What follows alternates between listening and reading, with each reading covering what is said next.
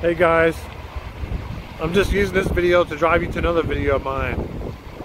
That's, uh, the other video is about 1 million views. At the end of this, beautiful scenery, you'll see a black screen and you'll see another, what's called an end screen.